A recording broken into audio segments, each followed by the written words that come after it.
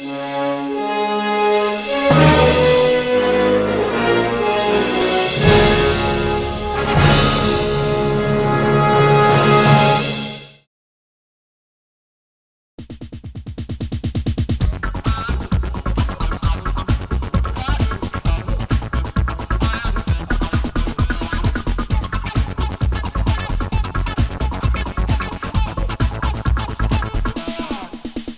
Com muito carinho, mais um Ultra Idade, em nome da Ultra Farma, tá aqui ó, no coração da gente, hein?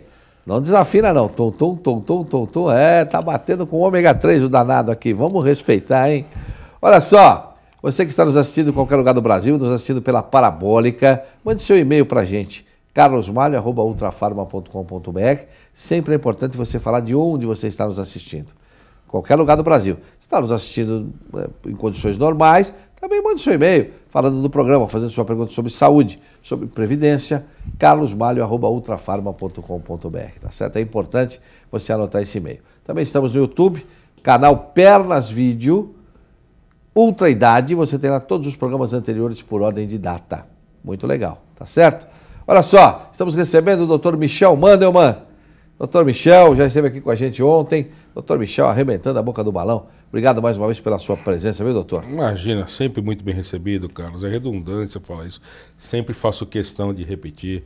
Você, o Pernambuco, tá, o Sidney Oliveira, que é um grande empresário nesse setor, e o nosso amigo Fábio Freire, que é o idealizador do programa. Sem dúvida, idealizador do nosso projeto, Guia Saúde Popular, abraçado com muito carinho pelo nosso querido Sidney Oliveira, a quem a gente agradece sempre esse espaço fantástico.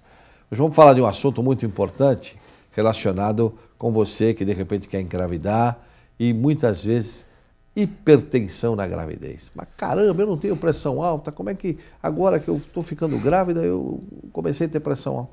Quem vai explicar para a gente é o professor aqui, doutor Michel Imagina. Mandelman.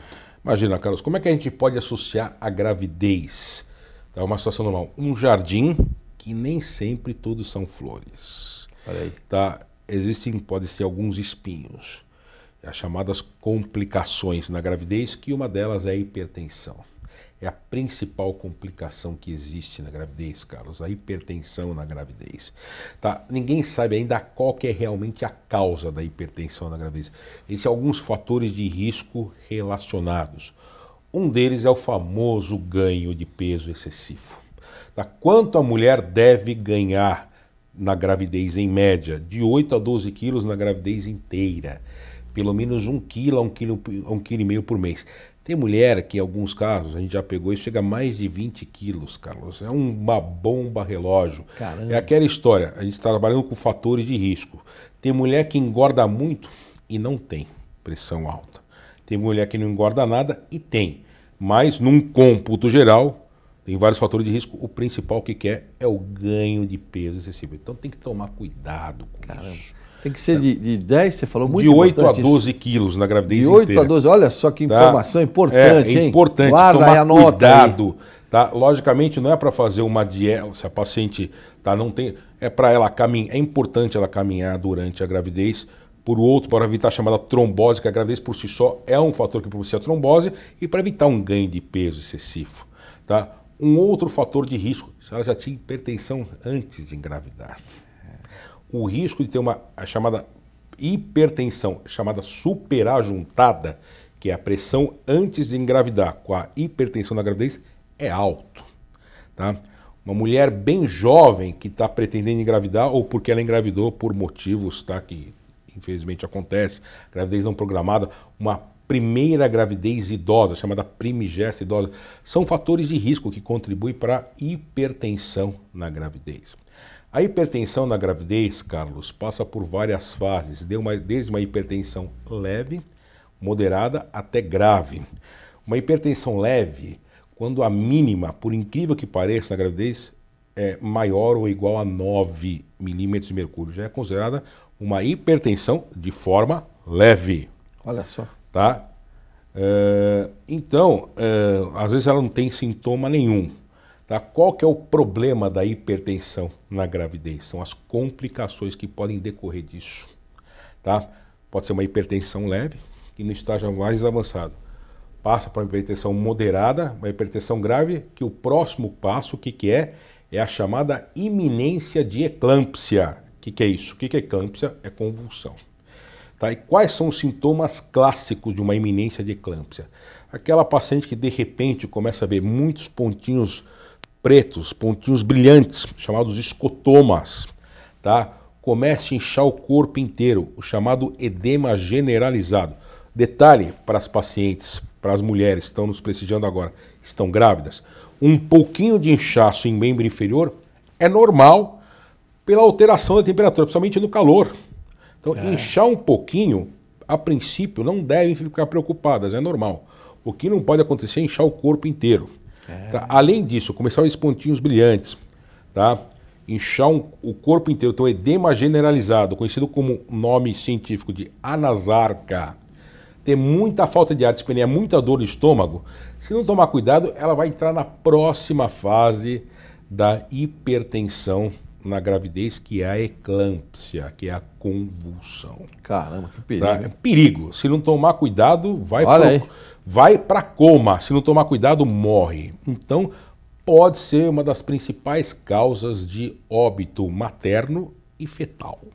Porque ela começa a deixar de passar sangue para as crianças, para a criança que está sendo gerada, tá? E começa a faltar sangue para a criança, que acontece na hipertensão, também no estágio muito avançado para a criança está sendo gerado, começa a faltar sangue para os órgãos nobres, para o cérebro, para a suprarrenal da criança, então a criança morre também. Caramba. Então é uma das principais, olha, não é brincadeira, é uma das principais causas de morte materna e morte fetal, quando ainda não na óbito fetal, a criança morre dentro do útero da mãe.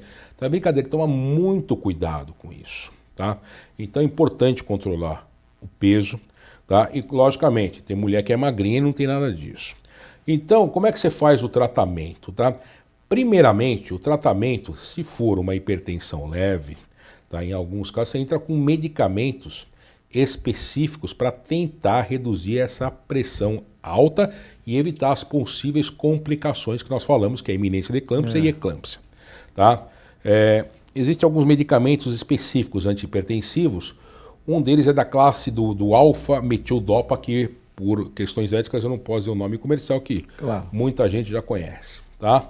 E vai, e, além de outros também. Então, fazendo o controle da pressão. Tá? Chega um determinado momento que você tem que saber como é que está a vitalidade da criança, como é que estão tá as condições de vida da criança dentro do útero através de alguns exames. Se faz um exame chamado cardiotocografia, tá? Pra, como se fosse, entre aspas, o eletrocardiograma tá? da criança dentro do útero.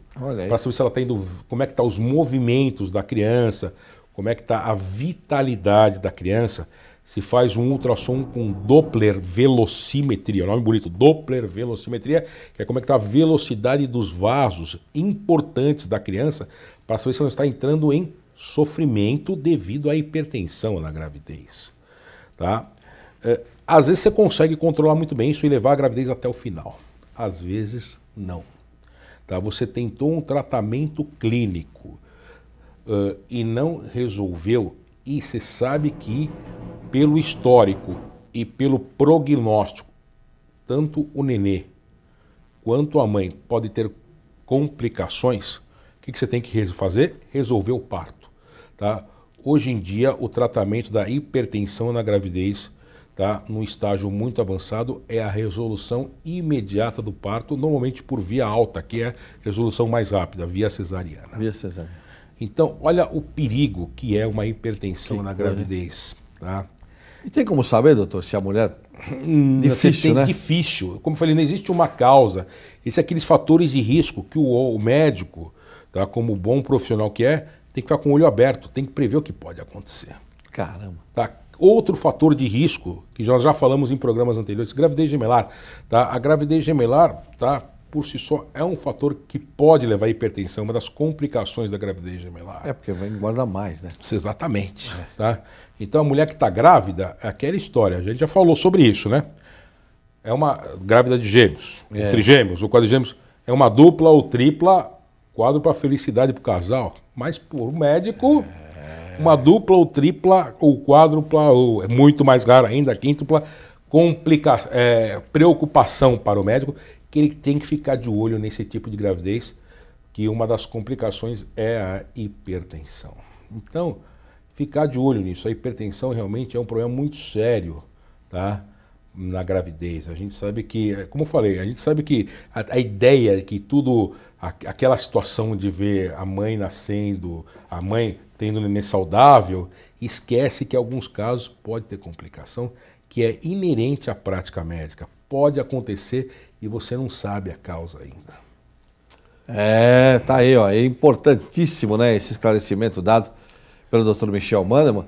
Para você, não é só para mulher, não. Para você que é homem também. Lógico. É importante você prevenir a mulher, de repente, né? Dessas questões todas. Se a mulher já está um pouquinho acima do peso e está é, engravidando. É orientar, orientar para né, não ganhar tanto peso. Ganhar tanto peso. Tá. Fundamental esse, é, essas Exatamente. Dicas, Se ela já tem hipertensão antes da gravidez, o médico tem que ficar de olho. Tá? E uma das complicações também, vamos falar uma outra complicação, que a hipertensão na gravidez pode acarretar o chamado descolamento de placenta. Tá? A gente sabe que em condições normais, aqui está o útero, aqui está a placenta. Ela tem que estar tá bem colada, bem grudada no útero, que é através da placenta e do cordão umbilical, que a placenta é uma massa cheia de vasos, que ela vai se afinilando, terminando no cordão umbilical, que o umbigo é o resquício que eu, você, todos nós temos no é. cordão umbilical.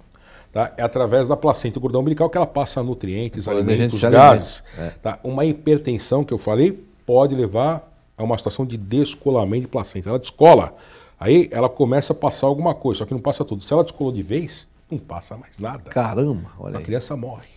Então, uma das complicações também é o descolamento de placenta, tá? devido à hipertensão na gravidez.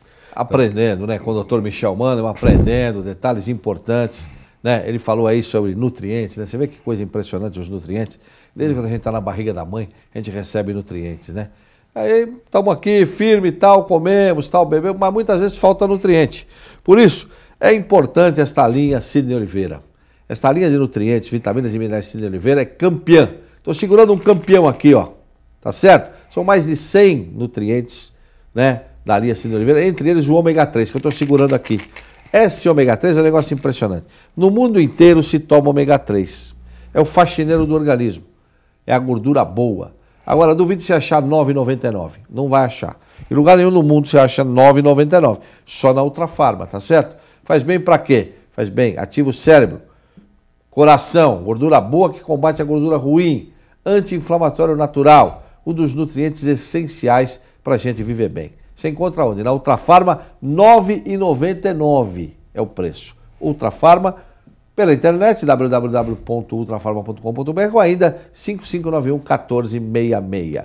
Cid Oliveira, essa marca que é recorde de vendas em todo o Brasil o nome já é a garantia. Sidney Oliveira, né? Vamos respeitar. Doutor Michel Mandelman, obrigado pela sua presença, viu? Muito bom. Tamo junto amanhã, né? Com certeza. Só para enfatizar esse tema, Carlos, tem muita coisa que a gente desconhece ainda, né?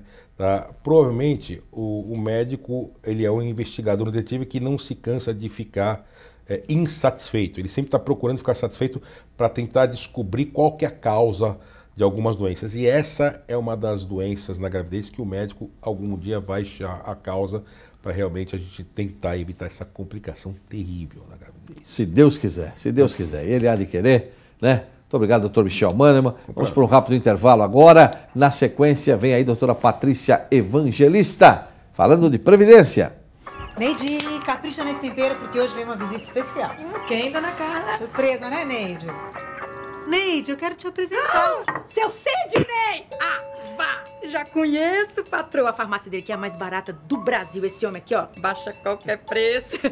Só não sei se baixa o fogo de certa pessoa. Neide! Partidão. Dá licença. Ultrafarma.com.br A farmácia da Carla, da Neide, de todo o Brasil. Acesse e economize. Elas aparecem discretamente, mas com o tempo podem se agravar. Para combater as varizes, Varivax. Varivax é um medicamento fitoterápico comprovadamente eficaz que atua diretamente na circulação, eliminando as dores, inchaço e aquela sensação de peso causado pelas varizes. Cuide bem de suas pernas com Varivax. Varivax, eficaz contra as varizes. Varivax é um medicamento. Seu uso pode trazer riscos. Procure o médico e o farmacêutico. Leia a bula. Ao persistirem os sintomas, o médico deverá ser consultado. Com muito carinho, já estamos aqui com a doutora Patrícia Evangelista para a nossa alegria.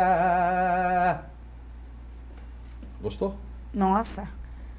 Cantor também, né? Sim, nas horas vagas. Apresentador, cantor. Na- na- nas horas vagas. Você viu como tá minha voz ainda? Ainda tô gripada. Começamos ontem o tratamento, né?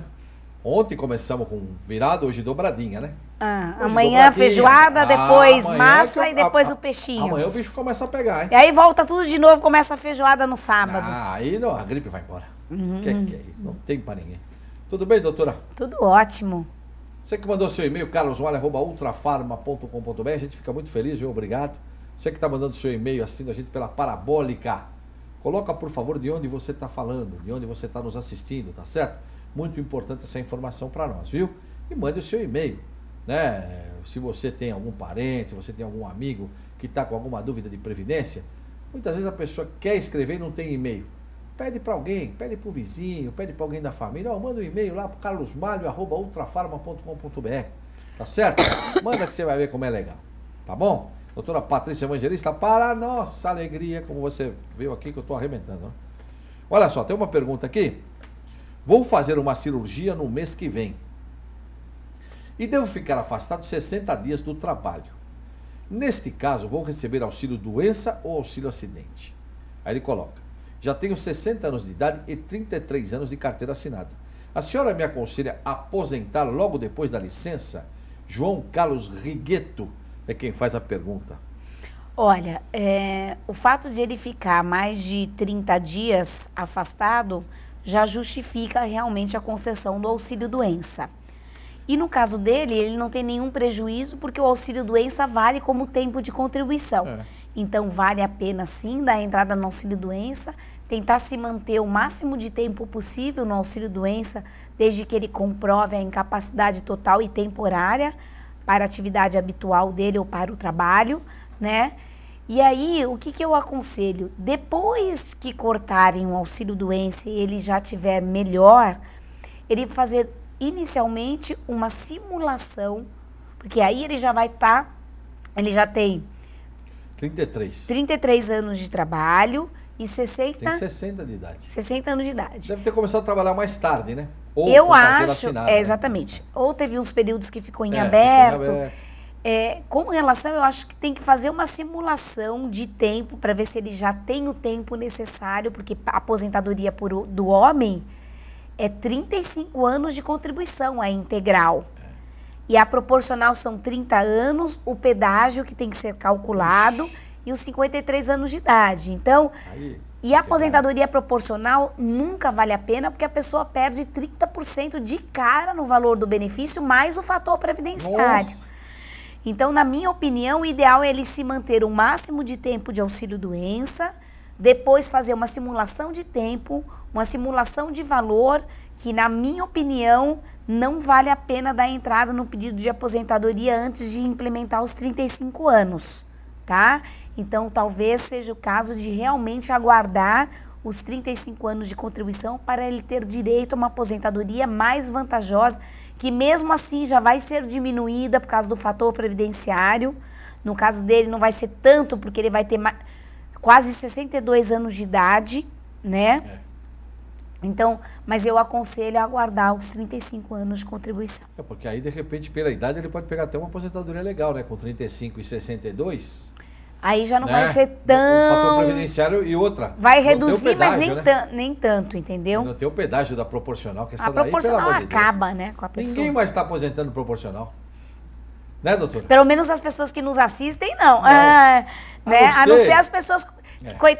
Muitas vezes é aquilo que a A gente doutora sempre, sempre fala. sempre explica aqui. Às vezes a pessoa está numa condição financeira tão difícil, não consegue se recolocar no mercado de trabalho, já possui direito à aposentadoria proporcional e não tem outra renda para sobreviver, para essa pessoa não resta outra alternativa.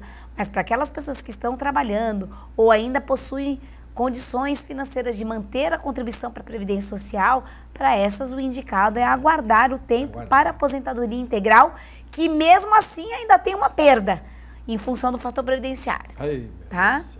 Famigerado fator previdenciário. A gente agradece muito aqui, viu? Tem uma pergunta aqui é, da Miriam. Sou Miriam de Oliveira Fiuza. Moro em Cerquilho, São Paulo.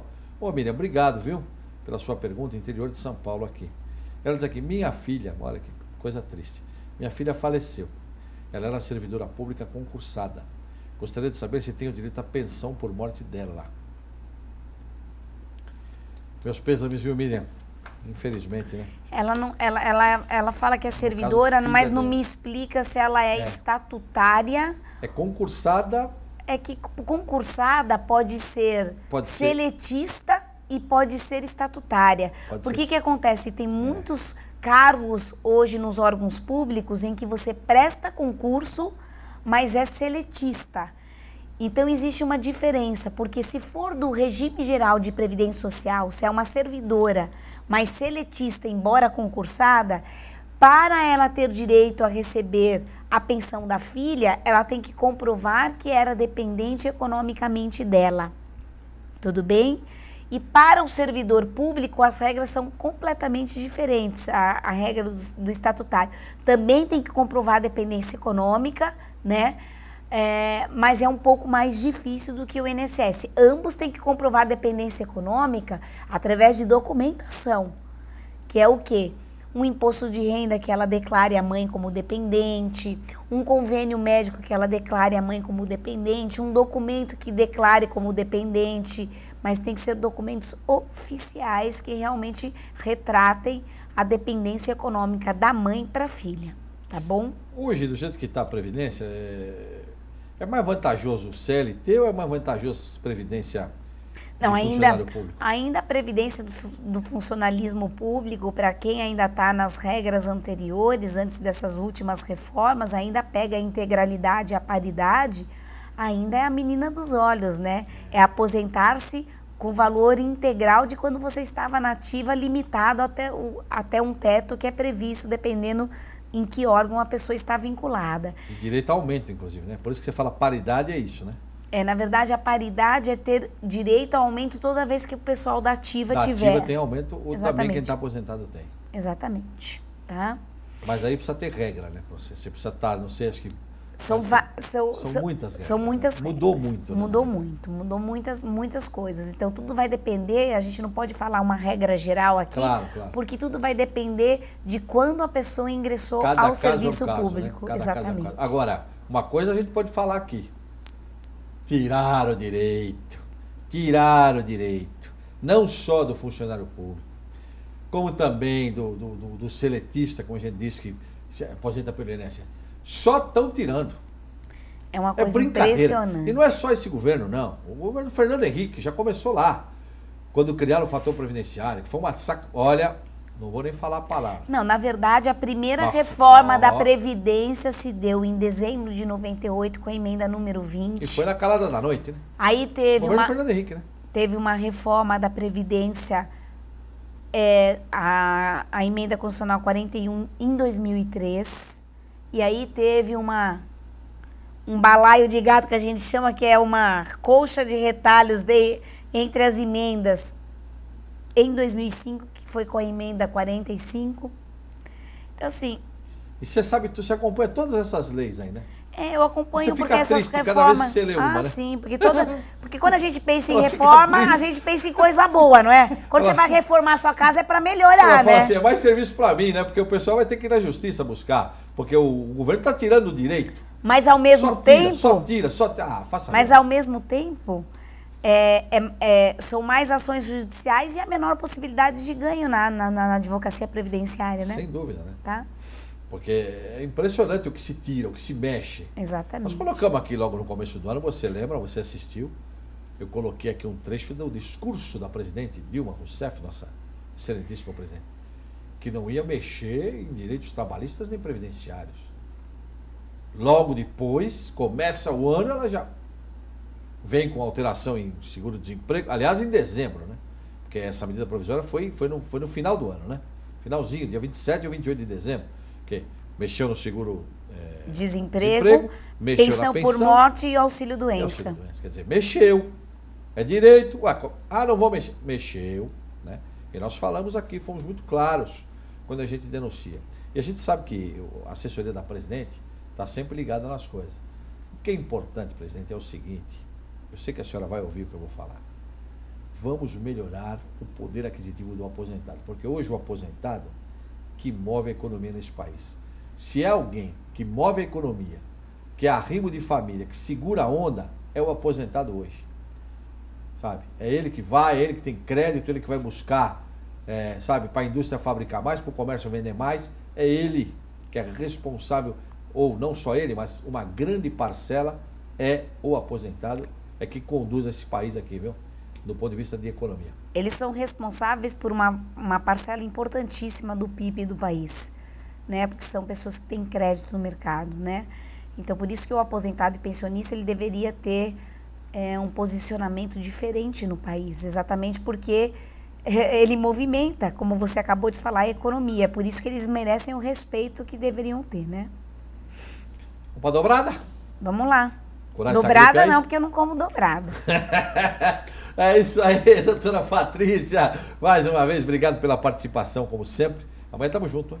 Se Deus Se quiser. Deus quiser, ele há de querer. Pernas Vídeo, a maior produtora do Brasil, está subindo aí. Estamos no YouTube, canal Pernas Vídeo Ultra Idade. Se assiste todos os programas anteriores por ordem de data. Até amanhã, se Deus quiser, com mais um Ultra Idade.